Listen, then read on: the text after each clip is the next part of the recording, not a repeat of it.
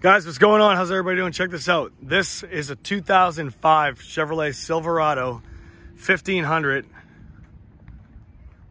Z71. Awesome, awesome truck. Runs and drives good. It's been serviced, uh, oil change inspection. Um, we put new head new headlights in it. It's leather interior, heated seats, um, brand brand new headlights. It's got some cosmetic imperfections, nothing too too crazy. Spot in the front bumper there, a little scratch right there, door scratch, gas right in the side here. But for the price point, for a four wheel drive Z71, can't beat it. Um, back of the truck's good. The bed's in good shape. The trailer hitch is in good shape. Factory bed, silver, Silverado bed cover, or uh, Silverado bed liner. Can't even think today. Uh, passenger, passenger side, rear bedside, a few little dents and scratches right there. Um, it's in nice shape. Chrome door handles, chrome accents through mirrors. Uh, the wheels, it's got some aftermarket wheels with the Chevy center caps on it. Um, these are a, I want to say these are a 275, 55, 20 inch uh, Chevy center cap with an aftermarket wheel with a nice looking tire on, decent tire, not too bad.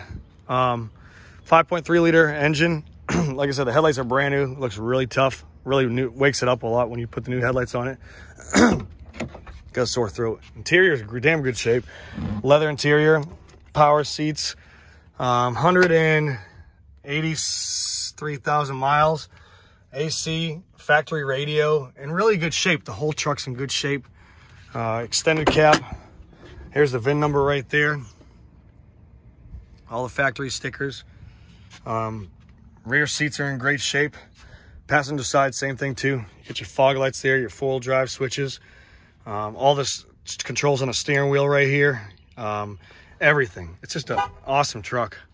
Uh, your OnStar, this is one of the first ones that I believe came with OnStar 05.